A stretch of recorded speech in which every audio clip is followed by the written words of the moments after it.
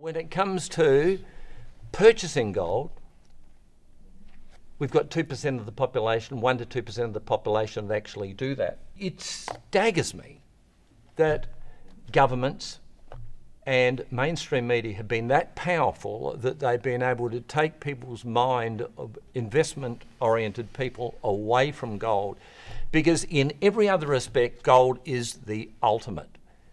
You'd think everyone would own it just your response to that uh, it's an interesting point. I mean, it's 0.5% of global financial assets. It is an inherently scarce, scarce asset. Its stock to flow ratio is less than 58. It's 2% production a year. It's a finite asset with an infinite duration. And there's a reason it's not just a, a symbol of sports awards or golden relationships or golden metrics. It's not just a barbaric relic that sits in the ground and you pay a fee to watch. There's it's a monetary metal. And to your question, why doesn't everyone get this? Well, in some ways, I remember during uh, reading David Stockman's book again during the, the crisis in 89 and the Nikkei, when Japan went from the, the, the sun that never set, the rising sun that never set, to an implosion in 89. The Nikkei uh, saw massive losses. 30 years later, has not recovered. But there was a saying in Tokyo in the late 80s that how can we all get hurt if we're crossing the street together? There was this herd mentality, this group think that it's let's think alike, just like over the top at Verdun or Gallipoli. Let's just march up the hill and it, you get massacred. It's it's there's safety in numbers. There's safety in the RIA industrial complex that tells you a risk parity portfolio of stocks and bonds will save you. Bonds will not save you. They're correlated to, to assets like eh, like equities now. The traditional portfolios will not save you. But it's very, very hard to stand apart from a group and question something. But no time in history, whether it was Australia in 1914 or 2023 or London or New York, did anyone who bought gold regret having gold? No time. In the Civil War in the South, if you were in Virginia, you were much prefer your gold over your Confederate Jeff Davis dollar. Mm. It's interesting the the attempt um, to discredit or at least omit gold from the conversation mm. because the, it is the number one threat um, to government currencies. Yep. And and we haven't had a chance to talk about central bank digital currencies or the e dollar, the en, or the Great Reset. But all these things have any credibility are already talking about having some coverage by gold because I think more and more people realize there's no credibility without it. But yet, to your point, it is fascinating. Mm. Uh, where where we deal in Switzerland with very high net worth clients, and of course I can't give you their names or their amounts. It's not a surprise to me, though, that folks who've made money in Bitcoin or Wall Street are spending lots and lots of money on physical gold. Um, you don't have to be a millionaire in Zurich or Davos or Gstaad to be smart. And you can buy coins right there in Melbourne or in Sydney or in St. Louis or in Detroit or in Chicago. And I, have never, never met someone. Maybe they're not happy that the prices moved ahead, but you know, an ounce of gold will still buy the same suit on, uh, in, on you know in London that it did 100 years ago, 200 years ago, and 300 years ago. But $100 will not buy the same suit. So it, again, it's common sense. It's not gold bugging. It's not pushing a product. It's rallying today. It's up around three percent at the time of this interview, back over 1900. Mm-hmm. So what is the impact on the gold market here? Well, again, there's so many forces affecting the gold market, and you know we can talk about that too long. And I could get too long into it. I think the main thing I think about gold, and I was always a stock bond freak. You know, that's how I came up until I had mentors like Egon, private mentors like Egon, who taught me about the real value of money. And now instead of being a mentor, he's a colleague. But remember, decades ago, folks like Egon, he wasn't alone, but he was one of the pioneers who had made a lot of money on the public markets in a FTSE 100 company, recognized that it's the it's the currency's purchasing power that is the real issue given these debt cycles. When he was investing in gold it was $200, 300 dollars. It's gone to 400 700 800 1100 1800 2000 it's always a subject of debate. It's just that silly little bar that stares at you from the ground and does nothing that barbarous relic. And i would argue and i've learned and i have no doubt in my mind um, now that all these currencies in circulation, whether they're mouse click printed, levered, hypothecated, buried in the repo markets, buried in the euro dollar markets, buried in the derivative markets, all these currencies that are spinning around and not sitting in the ground are losing value. Whereas gold just sits there and it doesn't get stronger. It's just currencies get weaker.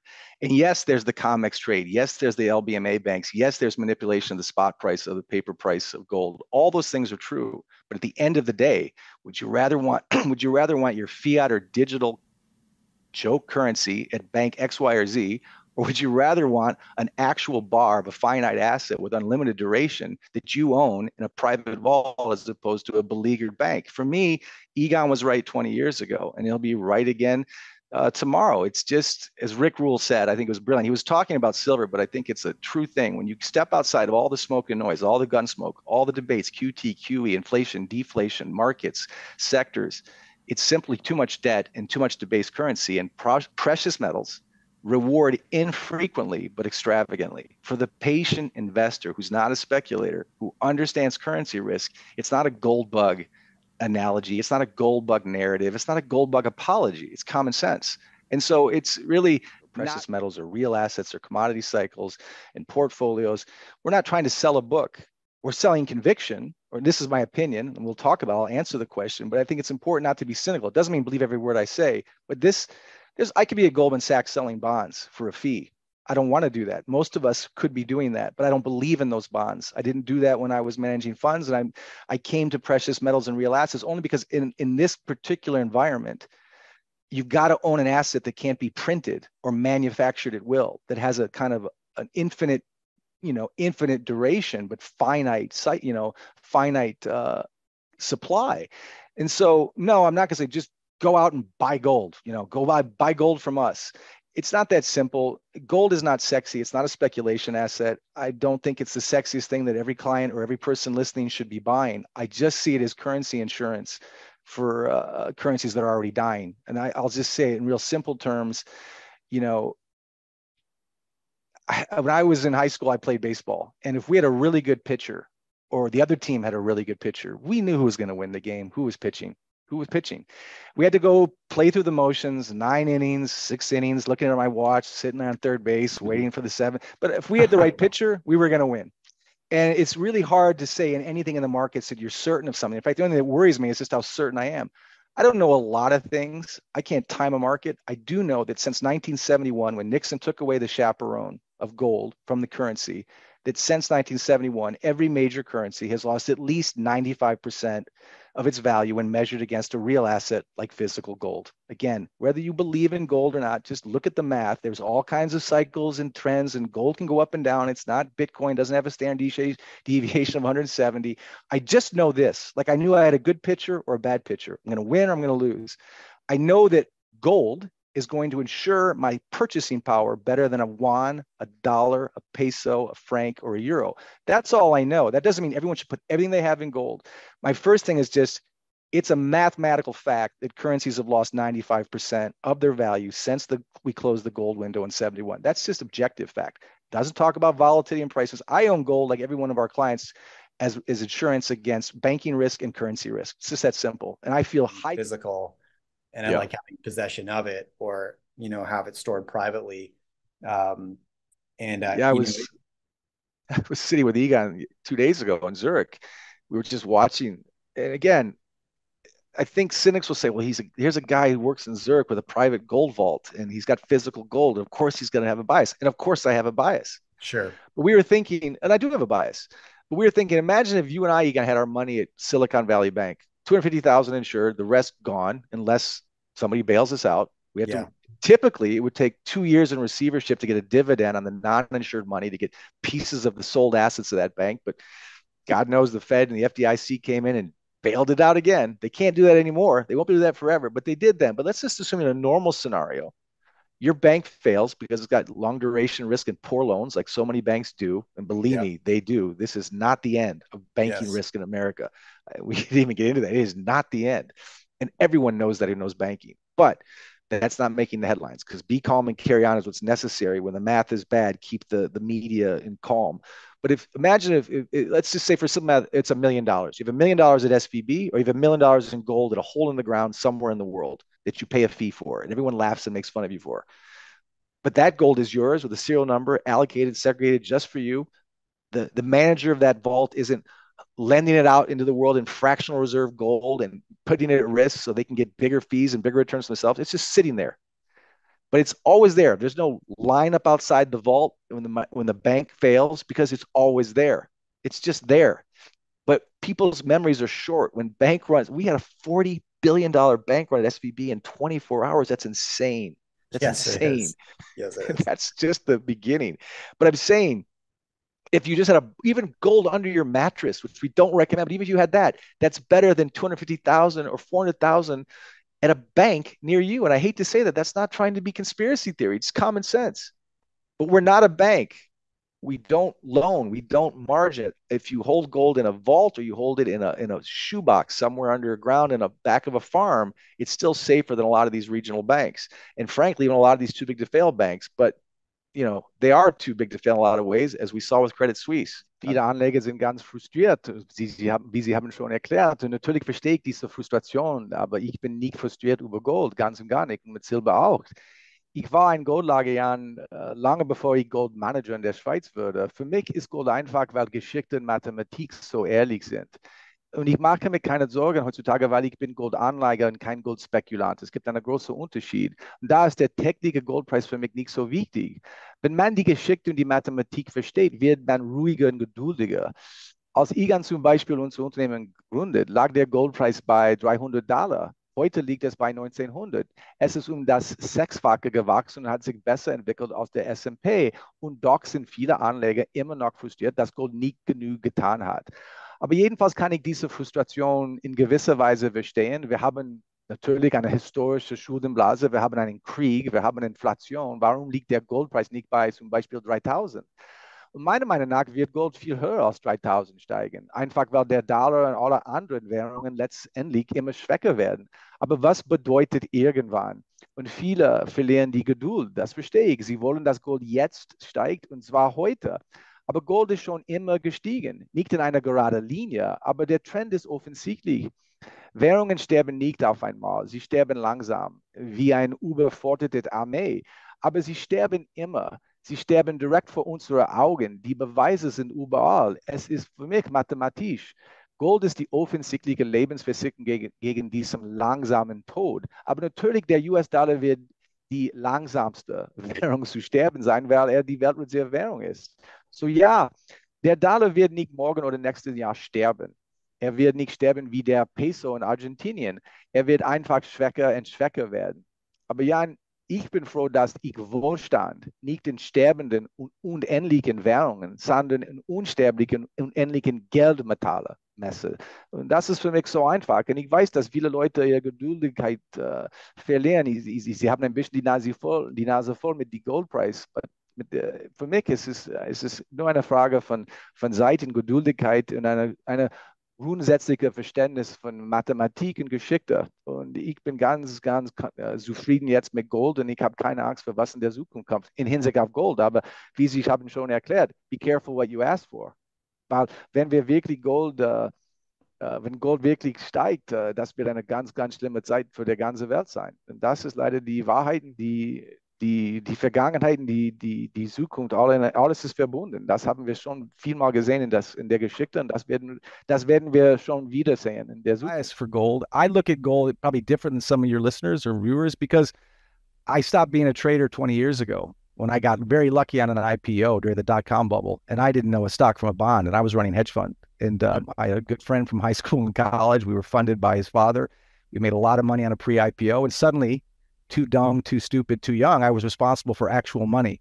Yeah. And when I realized I had that lottery ticket, like I see a lot of people getting, uh, you know, with Bitcoin too, when you when you come into some money too young, you better learn how to manage it quickly. And that to me became my personality was more about preserving rather than making more. Yeah. I look at gold as an investment opportunity. I say it over and over. It's currency for already dying insurance. It's like getting a good premium on life insurance when you've already been diagnosed with a fatal illness. There's no doubt that since we decoupled from the gold standard when Nixon welched on the Bretton Woods promise to have a world reserve currency backed by gold, that the purchasing power of the dollar, like every major currency since 1971, has lost over 95% of its value when measured against a milligram of gold. To me, that's not a gold bug apology or an excuse to come be a client of mine for a fee in Zurich. It's just common sense to preserve your wealth because whether you measure that in pesos or you or, or yen or euros or dollars or kroners, I say it over and over, you're running uphill in roller skates because the inherent purchasing power of how you measure your portfolio, your checking account, your credit card statement is in currency that's losing its inherent purchasing power. Right. And since central banks, central banks in the West won't back that with gold, I have to become my own central banker. Whatever my net worth is, I have to have a portion of that gold backed myself. So I have to own private physical gold held outside of an incredibly fractured banking system, the symptoms of which have been everywhere and obvious lately. Um, and I have to become my own vault, my own private banker, my own central bank, because the Fed and the ECB and the Bank of Japan, the Royal Bank of Australia, they're not going to do it. Ja, so schon erklärt, ich sehe eine Vermischung von mir, leider zentralisierte Control und auch Central Bank Digital Currency zum Beispiel, aber es wäre ein super Rückenwind für Gold am Ende sein. Aber gleichzeitig ich kann auch kein Szenario in der Zukunft vorstellen, in dem Gold nicht eine sehr wichtige Rolle spielt der Glaube an Fiat-Geld in allgemein und sauberhaftiger digitales Geld ist vorbei und die Leute fangen an aufzuwachen. Es ist sehr, sehr wichtig, dass, dass wir uns zusammen die, die Wirklichkeit akzeptieren und, uh, und uh, informiert sein und vorbereitet sein. Das ist meine Schlüsselwert. Danke, yeah, Matthew. Uh, I don't need to disparage other asset classes or disparage other strategies for those who understand market risk and risk assets or even cryptos. I'm absolutely fine with that. For me and for the clients that we have from over 90 countries all around the world, the great deal of AUM in Switzerland, our focus is very simple. It's an insurance product, it's a wealth preservation product. And we don't really look at the movement of price in gold every day. It certainly has been trending up since Egon bought it at 300.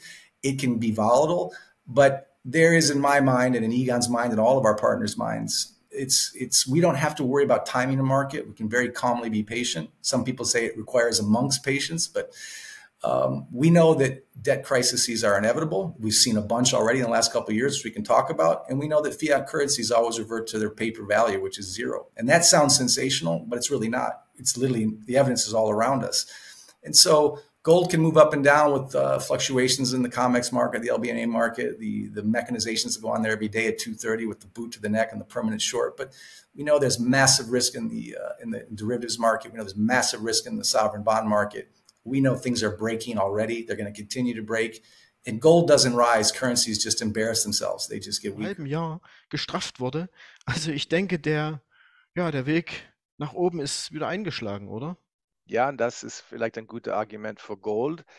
Wie erwartet und tausendmal erklärt, Gold liebt Chaos, Währungsabwertung, Inflation von verrückter Geldpolitik und mehr Mausklick-Geld und vermeintlicher Mausklick-Geld. Die globale Zentralbanken in allgemein und die US-Notenbank im Besonderen werden gleich gezwungen sein, mehr wertlose Fiat-Geld auszudrücken. Das ist meine persönliche Meinung. Und wenn die Krise immer größer wird, die Entscheidungsträger können auch die Ausrede ausnutzen, eine große Reset anzufangen. Und diese Reset und Central Bank Digital Währung oder Currency werden keine Glaubwürdigkeit haben, ohne irgendwas für eine wichtige Rolle des Goldes. Das finde ich unvermeidlich auch. Niemand wird eine digitale Währung akzeptieren die nicht Gold gestützt ist. Die ehemalige Lügenillusion von Fiat Geld wird bald vorbei sein, Jan, meiner Meinung to your other question about the US dollar and gold and tier one status and the Bank of International Settlements and these different Basel Accords and, and new rules and repricing gold or recalibrating gold, I think without getting all the complexity, it's very simple. Somewhere in the last few years, and certainly right now, what we're seeing in the last year is central banks are buying more gold and dumping more dollars.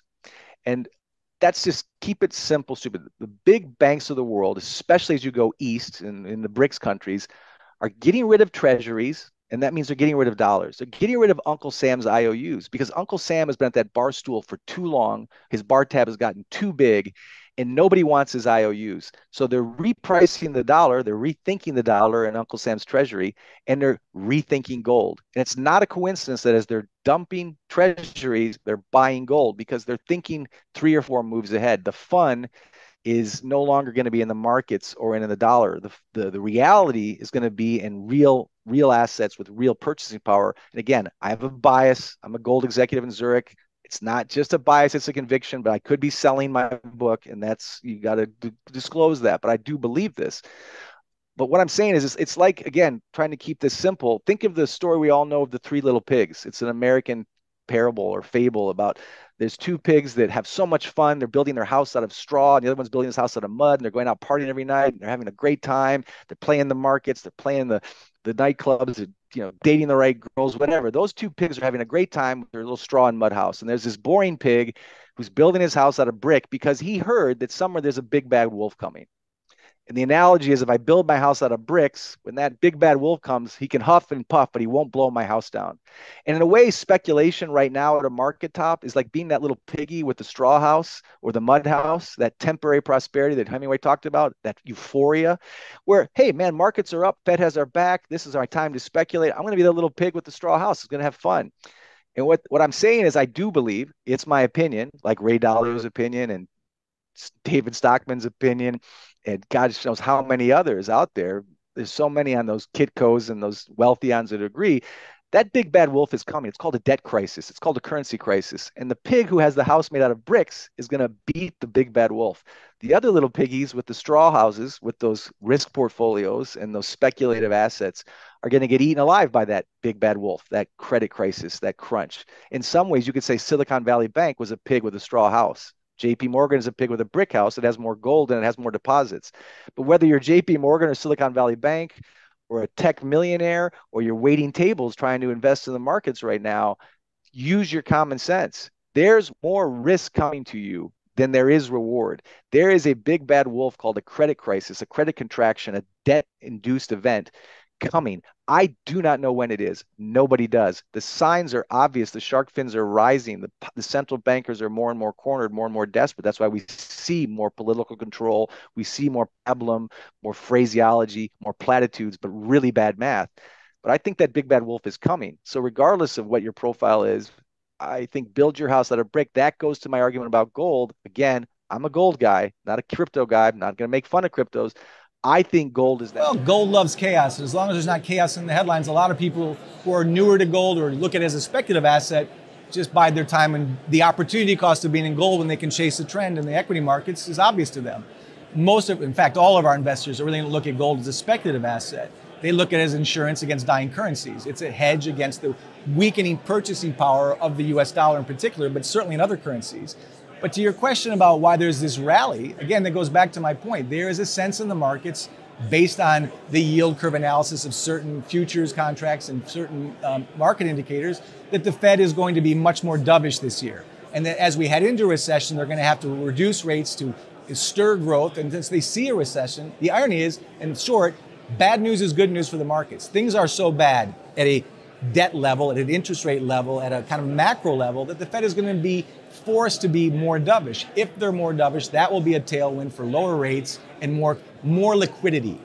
But when you look in, so that really is a tailwind. Well, gold loves chaos. As long as there's not chaos in the headlines, a lot of people who are newer to gold or look at it as a speculative asset just bide their time and the opportunity cost of being in gold when they can chase the trend in the equity markets is obvious to them. Most of, in fact, all of our investors are really going to look at gold as a speculative asset. They look at it as insurance against dying currencies. It's a hedge against the weakening purchasing power of the US dollar in particular, but certainly in other currencies. But to your question about why there's this rally, again, that goes back to my point. There is a sense in the markets based on the yield curve analysis of certain futures contracts and certain um, market indicators that the Fed is going to be much more dovish this year. And that as we head into recession, they're going to have to reduce rates to stir growth. And since they see a recession, the irony is, in short, bad news is good news for the markets. Things are so bad at a debt level, at an interest rate level, at a kind of macro level, that the Fed is going to be forced to be more dovish. If they're more dovish, that will be a tailwind for lower rates and more, more liquidity. But when you look in, so that really is a tailwind for the equity markets. But when you look at the at the banks, you know, you look at where they are, their balance sheets. I mean, banks right now are going to U.S. Treasury auctions rather than overnight reverse repo because they can use those U.S. Treasuries on the auctions as leverage because banks are they have poor liquidity. There's a liquidity crisis. And even banks are receiving less premiums for their swaps. Why? Because they can use those off the balance sheet because their balance sheets are bad. There's credit tightening. Credit and easy debt is the tailwind for Amer- American growth and American bubbles. And so the banking the banking system is stressed, it's contracting, but the markets are up because they think that is temporary. Powell will have no choice but to pivot. I think there's some truth in that actually. But the irony is when we get the liquidity needed to avoid a liquidity crisis, because every crisis in the markets is a liquidity crisis. When you tighten liquidity, markets start to hiccup. There's an anticipation of liquidity. But if you create more liquidity, you do that to save the S&P or the credit markets, to monetize our treasury markets. Yes, you can save those, but it's always going to be at the expense of the underlying currency. And when that happens, when that becomes more palpable, that's when people start to realize their money, their currency is getting weaker. And that's when we get the phone calls and the emails to buy more physical gold. So it kind of cycles like an EKG. Equities up, interest in gold down, equities up, but currency values depleting, de- debasing. Then people start to realize, wow, I need to deal with the low purchasing power of my currency, no matter how relatively strong it is. They start thinking about insuring that with physical precious metals. Okay, thank- well, it's interesting. I think of Egon when he started Matterhorn, it was gold was at under three hundred dollars, and uh, since that, that was in 2000, 1999, 2000. Um, gold has gone up six times since then, and it's, it's outperformed the S and P. And yet, people still say gold's not doing enough for us. Gold's not doing enough for us because it's not at 25 or 3,000. It's boring. I can get so much more in Bitcoin, or I can get so much more in, uh, you know, SPAC or some immortal tech stock. And they're right. But when I look at what gold has done for Egon or for me, and I'm someone who's benefited from silly returns on an IPO that I could have never earned, and it was more money than my parents and grandparents and their parents earned in an afternoon. So yeah, that did a lot for me, but it really didn't do anything for me other than make me a lottery ticket winner. But what gold has done for me and Egon and all our clients is it's preserved the wealth that we had, whether we inherited it, earned it, or or tricked into it. And so to me, that does a lot for me. And people keep, I think if you're a speculator and you're saying, well, gold's not at 2,800 yet, it's not doing anything. I, you know, again, well, if it's preserving the wealth that you have, because that wealth that's sitting in your portfolio, it may be going up, but the purchasing power matters. And for me and for our clients, we're investors. My first responsibility, gold is doing just fine. In terms of where gold is going, uh, I don't even think its best days have come. I don't like to speculate on price because you're still measuring that in some fiat fantasy currency. So when gold is at 5,000, fine, but it's still going to be 5,000 useless dollars, more debated dollars, or kroner, or euros, or yuan. So it's a fair question and it will get higher. It doesn't mean it goes in a straight line. But the world, not just the dollar, but the world reserve currency in particular and the dollar, is in debt over its skis. It's inevitable. It is obvious uh, there is also, as I said earlier, no doubt that they're going to have to create synthetic liquidity to, liquidity to save the system. They will have to create more money to support the bond markets and the system itself. There's no doubt that in every market crash or every societal kind of crash where you have debt this level, the last bubble to pop is always the currency. And that, again, has happened from 1789 France to 1999 Yugoslavia to 1930s Deutschland or Germany. So gold will become um, an antidote to its, you know, anti-fiat, and the dollar is king fiat. In terms of timing that, it's impossible. It's like saying, when will Germany invade Poland, or when will, you know, it was 33, 34, 36, 38, 39. It really doesn't matter whether it was 36 or 39, as long as you were out before September of 39. And to me, we buy gold because we don't know. We just see currencies openly Common dying. question I hear regarding de-dollarization is what is the alternative if the world were to de-dollarize? What will they use instead? Exactly, and that's the point that Brent makes, and many others that I agree with. It's not going to be the ruble, the yen. It's not going to be the peso. It's not going to be the yuan. So, in terms of world reserve currency, the U.S. dollar is still supreme. It's just its hegemony has changed dramatically, and no, and yes, I'm a gold executive out of Switzerland. It's not going to be the gold bar either. It's not going to be a gold backed currency. But what you're going to just see is what we're seeing in the last two years central banks dumping US treasuries and stacking physical gold at record high levels. And even investors, and we have investors that are high net worth and fairly sophisticated, they know there's not going to be a gold backed currency either, like the BRICS, but they can become gold backed themselves. We can each become our own central banker from our own home or our own vault or our own uh, storage facility, however we choose. And that's what a lot of sophisticated investors do. And I'm not going to name names. I knew a lot of guys from Wall Street and the hedge fund world who are portfolio managers who trade and arbitrage, credits, equities, long, short, multi-strat funds, and they don't trade gold in their books that they take their two and 20 on. But when they have their own personal money, they invest in gold vaults somewhere outside of the US. And the smart money is basically trying to solve their own currency problem on their own. And, and retail investors are doing the same thing where they put in a shoebox or they put it in a private vault somewhere in the Swiss Alps. Um, more and more people are catching on that the inherent purchasing power of their Canadian, Australian, American dollar, or of their euro uh, or kroner or French or Swiss franc uh, just isn't what it used to be, and is going to continue to get weaker as uh, national decision makers debase their currency to pay off debt. When, when you say that gold is a wealth preservation tool, can you just elaborate on exactly what you mean? It, it's preserving wealth against what? Against the erosion of the value underlying currency because of inflation? Uh, is it is it it's, protection against other currencies? yeah. yeah, it's it's it's it's not even a currency hedge against other currencies or currency arbitrage. It's just that it, I joke that it's fire insurance for houses that are already on fire. I kind of joke about it. It's like the CDS to the MBS trade when mortgage-backed securities were tanking, you went long CDS, just going long precious metals because it's like having flood insurance for a house that's already on the river and the water's rising. The inherent purchasing power of the currency is dying. It's burning in front of us. Despite the DXY or its relative strength, its inherent purchasing power gets weaker and weaker by the year. There are there are spikes where current purchasing power can shift higher or lower. The dollar can go higher or lower. To Brent Johnson's point, I agree. But the long-term trend is when measured against gold, it just gets weaker. Not every day, not in a straight line, but historically, I would much rather own uh, my I would much rather preserve my wealth in a monetary metal than in a paper asset, even if it's the world reserve currency, because this world reserve currency is in, in a historical debt pattern that it can't get out of without debasing it even further. I think people have cognizant cognitive dissonance. They still believe it's the bond market of 40 years ago or 10 years ago, or it's the US dollar when Kissinger and Nixon before they welched, but it's not. We're just not that same country. And I'm an American, I'm a patriot. I love the iconic America, but I see a debt soaked America, a debased currency, an unloved IOU. And a, and a monetary and fiscal policy that's completely at odds with themselves. And that's not to be doom and gloom. It's just is to be as realistic as I can. In Switzerland, where I work out of, for generations have always held a massive percentage of their wealth in gold because they've seen wars, cycles, inflation, deflation. America and a lot of people younger, like my daughters or my son's age, have never really gone through a real inflation pain or a real insult to their purchasing power or a real political or financial crisis or even a military crisis on our shores. So there's a kind of out of sight, out of mind mentality. Maybe the benefit of studying history or living overseas or living in Europe or looking at the purchasing power of my money has made me more cynical. Uh, but again, my clients, our clients, they're not against speculation. They're not against trying to make money in other areas. There's not many areas to go to right now. But their role with us is just to preserve the purchasing power of their currency in something that isn't paper. And uh, what they do with the rest of their money is up to them.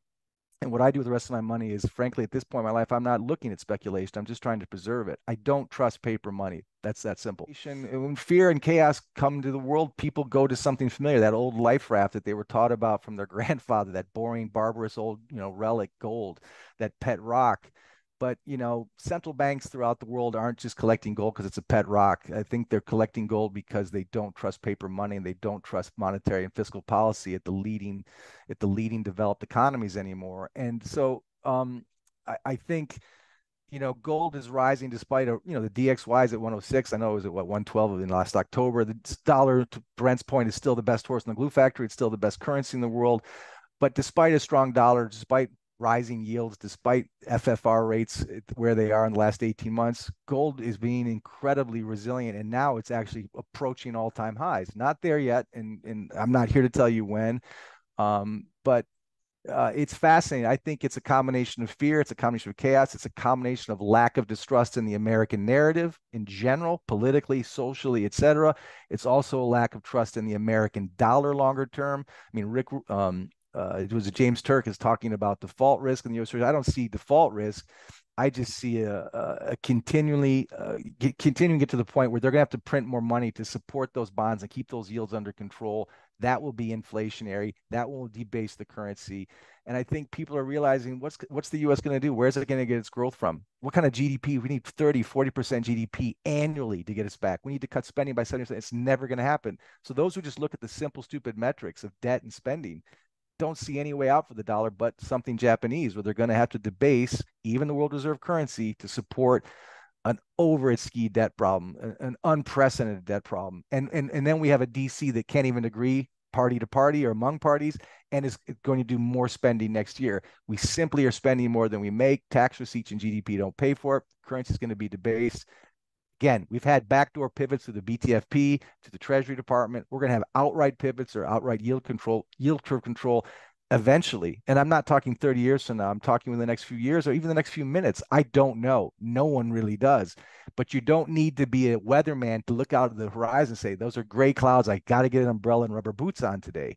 I don't know if it's going to rain at noon or 12:30 or 3:30. I just need to prepare for the rain. And I don't know what will be the headline? Will it be Martians? Will it be COVID? Will it be another pandemic? Will it be some other bad guy in the world? But the real problem with the US dollar isn't the BRICS, it isn't Putin, it isn't COVID, it's our policymakers. Generation. since 71 that welched on the gold backed currency, got rid of the chaperone. We've been spending more to get reelected or get Nobel Prizes by printing money out of thin air. It's not sustainable policy. A 10 year old could see that eventually if you just look at the math. I'm not trying to be flippant, it just doesn't work. And I'm not trying to be dramatic either because I don't think it's the end of the dollar. It's not the end of America. It's not the end of civilization. It's just not going to be the same 10 years as it was the last 10 years. And it's not the same dollar and it's not the same IOU. And the evidence is overwhelming. It's not even predictable. It's happening right now. The evidence of a soft landing is not here. The evidence of a hard landing is everywhere. Uh, the fact that gold is rising in this environment proves that people don't trust these currencies and IOUs. And I know when when Egon started investing in gold in 2020, Egon von Greyerz my partner. Um, gold was at $300. It's now almost at 2,000 today. It's had its sideways moments, its rises and falls, but he would argue that it actually has outperformed the S&P on an inflation-adjusted basis. Depends on what definition of inflation. But I don't need to be an apologist on the debate of gold versus say cryptos or others. I'm not against these views. I have a simple policy, a simple view. The inherent purchasing power of the U.S. dollar since we went off the gold standard 1971 has fallen by 98% when measured against a milligram of gold.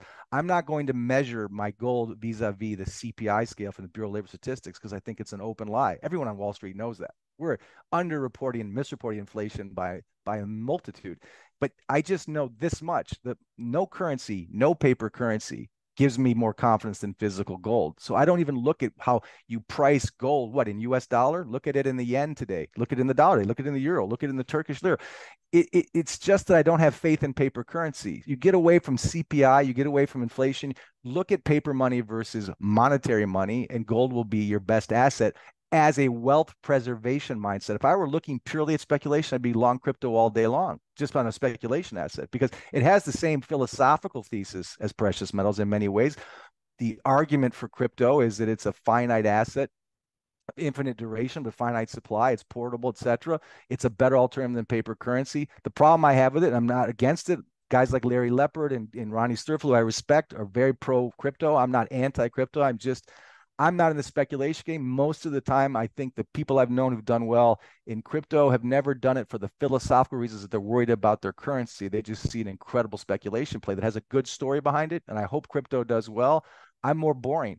I'm not looking for speculation. Our clients at Matterhorn, they can speculate in other areas of their lives or other areas of their profession. They're just trying to preserve the euros, Canadian, American dollars. We've got clients from 90 countries in different currencies. They just know their paper currencies are getting weaker, and they're just trying to keep that uh, hedged with gold because gold doesn't rise.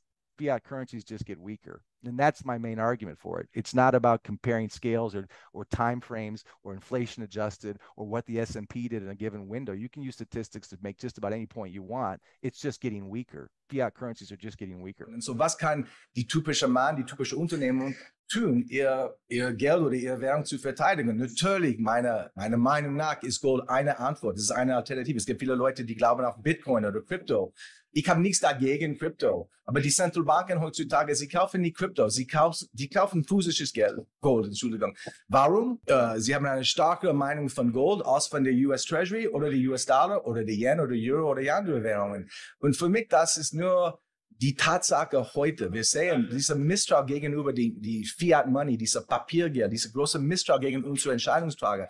Und tatsächlich diese, diese große Misstrauen gegen unsere Politiker, links oder rechts. Sie haben keine einfache Lösung. Und daher wir müssen uns jeder unsere private Zentralbank für uns selbst sein. Das müssen wir müssen unsere Währung mit Gold gedecken. Verstehen Sie, was ja, ich meine? Ja. Auf Deutsch ist es ziemlich schwer, das zu erklären. Aber ich habe keine keine Hoffnung, dass meine Zentralbank oder die ECB werden eine goldgedeckte Währung haben. Es ist zu teuer, es ist zu politischer.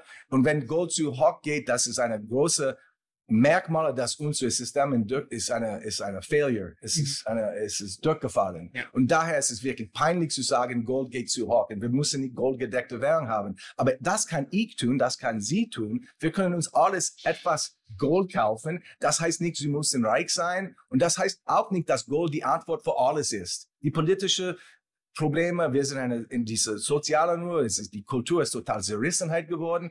Ich, ich habe keine Antwort für alles. Aber in Hinsicht auf meine Währung und meine Vermögenszustand, am wenigsten könnten wir alles ein bisschen physisches Gold kaufen. Reich oder arm, Mittelschicht oder Hock. Wir können alles etwas tun, unsere Währung zu verteidigen. Gold, and, and that's a large question. It's the most important question, but it also hinges on the currency question, which we'd have to talk about. Gold, there's a lot to say about gold. Um, for the, the simple answer to your question is if there's a ripping bull market based on a word driven Fed, where again, words replacing math, resilient, we're supportive, dovish, rate cuts, whatever the Fed wants to say, if you want to believe a lie long enough, you'll believe it and markets will trade on that. If the S&P is ripping, there's an opportunity cost for speculators. Speculators will invest in equities rather than physical precious metals our clients, every single one of them, never call and ask about the gold price, even when it was reaching all time highs. They don't care because they don't use gold as a speculation tool. So it's a different question how you answer. It's not an apology for gold. Gold is a wealth preservation asset ensuring against dying inherent purchasing power of the currency, regardless of the relative strength of DXY. Gold is just real money, fiat paper money. Even the even the DXY's leading number, the US dollar, even when it's relatively stronger, the best patient in the ICU is still losing inherent purchasing power. So for our gold investors who are looking at wealth preservation, gold is is is is is bought for that reason. They're not worried about opportunity costs or getting a better yield or a better return in the in the risk asset markets. But yes, if if stocks are ripping, speculators will dump ETF gold and go into higher higher performing stocks and follow the fangs or follow the big seven, et cetera. And that's fine. That's fine if you're a speculator. For wealth preservation asset, it's, it's, it's indifferent. But gold's gold's a very long conversation. What's happening this year and what happened in 2022 is fascinating. I think the most important thing that I was looking at, and there are probably six or seven points, but when gold went above 2100 and then came back down to you know the 2000s, what was fascinating is on the Shanghai Gold Exchange, the premiums actually went up three percent because that's an indicator that this game in London and New York of putting a permanent boot to the neck gold price, the spot gold price through OTC futures contracts is slowly coming to an end because you can't because there's there's a movement east in gold and there's a movement east in exchanges there's a movement east in interest because of the lack of faith in the US dollar and the US treasury. You know west can't can't cap gold while China lets it rip. You, you're not going to see a 200 day moving average in the US dollar price of gold. It's going to be significantly lower than the 200 day moving average in the Chinese or the yuan price of gold. So there's a there's a, fundamentals are slowly returning to the gold market. That's very important. Central banks are on pace this year to buy another thousand tons of gold this year after a record year last year. I've said in many conversations. This is important when you're watching central banks net sellers of U.S. Treasury since 2014 and net and, and record-breaking buyers of physical gold. To me, it's common sense. Again, keep it simple. Watch the big picture.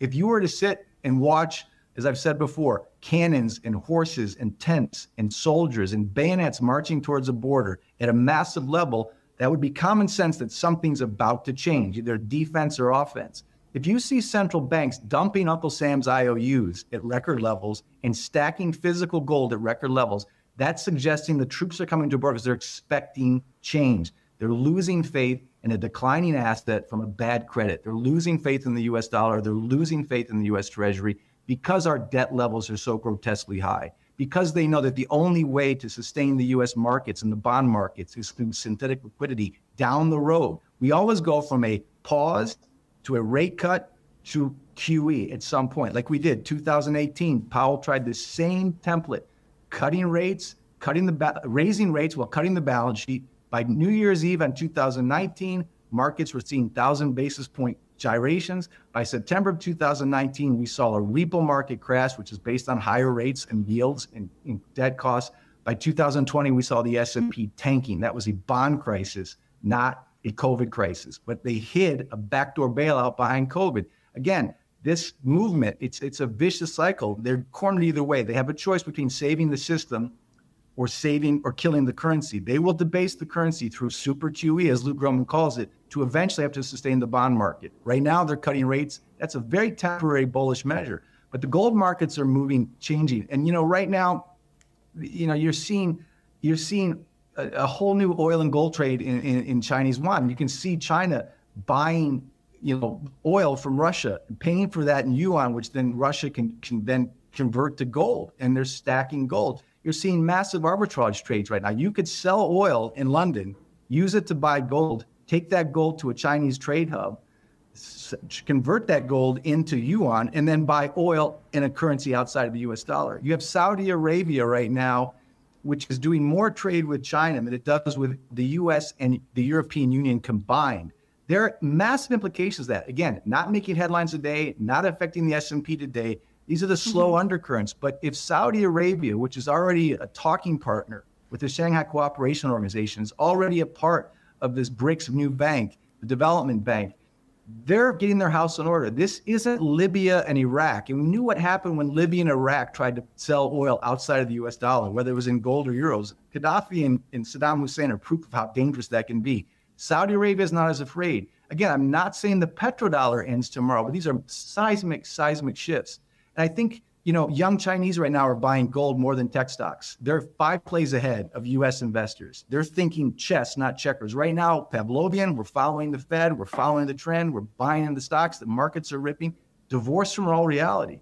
You're also seeing that the highest Sharpe ratio macro on the planet right now is gold. It's much less volatility, much longer return. We're going into commodity cycles like super cycle. I do believe this, but I think what's even more interesting about gold, because you asked about gold, we look at gold, is is gold is a measure of the distortion and dishonesty in the financial markets right now. It's a measure of this disconnect. I mean, typically, you know, gold only loves negative rates, a weak dollar, and low yields, and yet it reached all-time highs on positive rates at two percent, a strong dollar, and high yields. When you know what's this pet rock? When you can get no yield on a pet rock, you get five percent in the ten-year. A few months ago, why would you buy gold? And yet, gold is reaching new highs. I think that's happening because no one really, the sophisticated money who's looking at preservation, and not speculation, really trusts the U.S. Treasury, the U.S. dollar like they used to. It's not. It's not the same because there are internal problems and external problems in the U.S. dollar. Trust is very, very hard to quantify. And I'm an American. I'm a patriot. Like you, I've lived most of my life outside of the country I was born in. But I grew up on baseball and apple pie, the American dream, the American education, the hard work ethic. I'm very proud of America. I don't recognize it from what it was 20 mm. years ago or even 10 years ago. And I think these are the things that Europeans, Middle Easterners, Asians, even Latin Americans are starting to figure out. First of all, internally, America is divided in, in, in, into, into so many things. But what we've got is we've got we've got this this failure, this intellectual, this series of failed wars that, that we were like Condoleezza Rice said that Russia ran out of money before the West ran out of energy. So the West followed us into these ridiculous myopic sanctions against Russia, which completely backfired. Poland's going nuclear. Germany's in a recession and they're burning coal. So that was a, that that was a lie. That didn't work. That plan didn't work. That failed war in Ukraine didn't work. That failed war in Afghanistan didn't work. A series of failed wars. We have a weaponized Department of Justice. We have a fourth estate that is so far from Woodward and Bernstein. We've got open censorship in Google, YouTube, and frankly, you know, anything. So I'm saying it's it's we don't trust internally we don't trust and externally i've got news for americans in the us the rest of the world including people who love america don't respect america the same way. In general because of political and social and financial policies and military policies but they most importantly don't trust uncle sam's iou because it's from a bad credit that's over its skis and debt at record levels. And they don't trust the us dollar in the same way. We're seeing a clear sign of commodity markets de-dollarizing which we can get into there's a big debate about the degree and speed of that. I agree it's not going to happen overnight. But there have been seismic shifts, as Grant Williams and yeah. I warned, ever since the myopic policy that when we weaponized the dollar, we right. shot ourselves in the foot. And so many, many, many interesting and valid points you made there, Matthew. Um, mm-hmm. yeah, and, and I hear you. I am an American patriot. I grew up outside the U.S., but moved here and a very proud American citizen and, and came here for those values that America is supposed to represent mm-hmm. freedom and liberty and the pursuit of the great American dream. And as you're saying, we're seeing, you know, tremendous shifts in that. And you touched on so mm-hmm. many important points. And I would like to highlight that one of the things that you pointed out in one of our previous conversations was what you're seeing as the bifurcation of the global monetary system. And you mm-hmm. highlighted that a watershed moment was February of 2022 with sanctions against Russia for its mm-hmm. invasion of Ukraine, the dollar being mm-hmm. weaponized, Russia taken off the SWIFT system. And yes, mm-hmm. I hear you that this is all in the grand scheme of things, the bigger picture. But mm-hmm. you know, we did see big moves from BRICS this year to trade in their own mm-hmm. currency, not to use the dollar, mm-hmm. as you quite rightly mentioned. The petrodollar looking a tad precarious, with oil being paid for in yuan, in rupees, mm-hmm. In in rubles, and in fact. You know, just this week we had a former advisor to the People's Bank of China calling for China to reduce its holdings in U.S. Treasuries due to increasing risks associated with American debt. Very vocal. It's one thing to think it, but it's another thing when China actually starts to say it out loud. And um, Yu Yongding said that uh, China should not reinvest in U.S. bonds and notes upon their maturity, and also pointing to the declining interest of foreign investors in U.S. treasuries. Now, I know you have a chart which we'll be pulling up that shows how central banks have been dumping U.S. treasuries and mm-hmm. buying gold. My question, mm-hmm. though, you, you touched on this idea of there being a premium between gold in dollars and gold in other currencies. Now, gold is mm-hmm. still priced in dollars, and therefore it's usually suppressed due to the strength mm-hmm. of the dollar. We're mm-hmm. starting to see that change, as we just touched on, in the oil market. Are you suggesting that we may be seeing more of a, a change in how gold is priced if it's moving away from the US dollar? as, as the denomination somehow? Yes. And again, viewers want to see it happen tomorrow. And we talked maybe over a year ago about the Moscow World Standard. You know, we were yeah. thinking this was going to happen with this new, you know, Glazyev and Babakov. And that was still years out. But now the Shanghai Gold Exchange is repricing gold. And again, because gold and oil post sanctions are now traded more vigorously outside of the US dollar, this again is not an overnight process. But it was a death by a thousand cuts when Nixon went up the gold standard and neutered the US dollar. Compared to the US, you know, compared to a milligram of gold, the US dollar, like all of the major currencies of the world since 1971, have lost 95 to 98% of their purchasing power compared to gold. That was death by a thousand cuts. Again, the DXY can go up 25% to spend trillions in QE, but its inherent purchasing power has gone down. That's the key. A million dollars 10 years ago doesn't buy what a million dollars does a day, or $100 10 years ago, $100 a day. That's death by a thousand cuts. This move away from the dollar, whether it's on the SGE or on the Moscow World Standard, is now happening. They're repricing gold more fairly in the East than they are in London or New York. I'm not saying that you're not going to see COMEX and CTX abuse the open fraud, the open price fixing that goes on in the LBMA banks. I'm not saying that ends tomorrow, but it's slowly shifting because again, you can't price gold cheap, you know, below its real value in the US or London exchanges well, it's ripping in the Chinese exchange or eventually maybe a Russian exchange. Again, not tomorrow, not next week, but eventually you're going to see a return to fundamentals in the gold price. In the meantime, you still have the problem, or not the problem, the issue of the US dollar and the de dollarization theme. Again, I had a great discussion with Brent Johnson. I agree. Let's not kid ourselves. The US dollar is, 80, is measured at 80% of GDP or 70% of GDP. It's 80% of trade settlements. There is a massive straw sucking on the milkshake of need and demand for US dollars. It is the supreme currency. You know, it's needed for the eurodollar markets, it's needed for the derivative markets, it's still needed for the oil markets. I'm not saying the DXY goes to 70. The, the, the issue I had with Brent Johnson is I don't see it going to 150 either. Again, this is because de-dollarization is a debate right now. It's an issue. It's a matter of degree. But you know, when, when you do see China buying oil from Russia and yuan, that's important. When you see 44 BRICS countries doing trade settlements outside U.S. dollar, that's an issue. When you see Saudi Arabia doing more trade with Europe, with China than with Europe and the U.S., when you, again, it's death by a thousand cuts with the dollar's hegemony. Again, it took 50 years since the day I was born to see the dollar get so neutered compared to gold because of that fiat death compared to gold because of all the inflation and debasement of the currency over those decades. It's the same death by a thousand cuts of the hegemony and supremacy of the US dollar because the world is moving away from that US dollar. But the most important reason I think that the milkshake theory, which I, for which I have a tremendous amount of respect and agree mostly with, that there's this huge global demand for the world reserve currency that's immense power. The DXY is not going to tank. The dollar is not going to disappear. But the one thing although the, the, the, the, milkshake theory and that straw has massive power, it doesn't have immortal power. And again, for people that are investing longer term, you have to realize that there may be a great big sucking sound, as Ross Perot put it, but on that milkshake theory, this idea that the world is sucking demand for the US dollar to prop the US dollar and the DXY up, The flip side of that is there is no straw or super sponge for US Treasuries. It's going the opposite. Mm. The world is stepping away from US Treasuries. If America is printing out 20 trillion over the next 10 years in US Treasuries and there's no buyers for it outside of the US or outside of the Fed, what's the what's the world going to do to keep yields c- controlled, to keep yields from going too high for Uncle Sam to pay for? They're going to have to print money. I'm sorry. They're going to have to have super QE to pay for those IOUs. That ultimately debases the dollar. So there may be a strong demand for the currency, but there's no demand for the IOU. There's not a discussion about that. So, what are countries going to purchase if not U.S. Treasuries? I see the trend. You, we're going to pull mm-hmm. up a chart which clearly shows the trend away from U.S. Treasuries. What are they buying? I mean, we know central banks are buying record gold, but where are they putting their their assets? Well, this What's is something the... that Brent and I talked about too. I mean, it's there's no easy answer. First of all, they're buying or settling in, in, in U.S. dollars, but then they're not holding in U.S. dollars. They're going to other assets. They're buying foreign products. They're buying Chinese products, or they're or they're covering the gap in gold. They're arbitraging the gap in gold.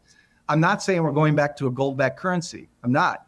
What is probably likely is things get that bad when it just becomes so obvious that Uncle Sam's issuance of IOUs so outpaces demand, as it already is. But when it becomes ridiculous, when we are in a recession officially, again, mm-hmm. too late because we're already in the funeral home, not in the doctor's office anymore, and they're going to tell us we're sick. It's too late when we're in an official recession.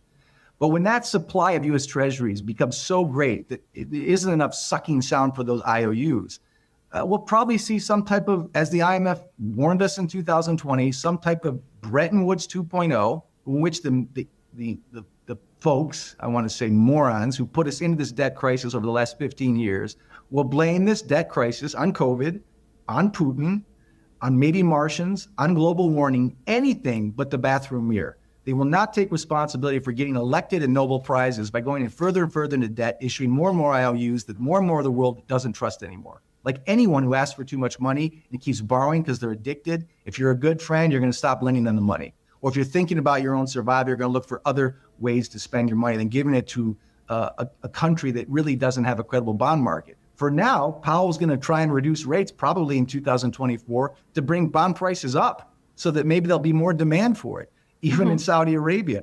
But again, it's too little too late. That sounds sensational. And maybe it's just me talking my gold book because but gold goes up or down, or gold goes up whether the dollar is weak or strong, whether rates are high or low, or whether yields are positive or negative. Because deep down, gold gets the last patient smile because it's real money. This other stuff is debased, kind of Mexican standoff with each other. I trust you, you trust me. But it's just clear and clear that it's getting more and more debased. There's less and less demand for it. So countries are going to find ways to basically, like the BRICS are doing, and the list of BRICS nations are getting bigger. Again, the BRICS are not going to have a gold backed currency. They're not going to replace the dollar. The ruble's not going to replace the dollar. The yuan's not going to replace the dollar. The kroner, the Swiss franc's not going to replace the dollar. The dollar's just going to be less, less hegemonic. We're going into a multipolar world, which is multi dysfunctional.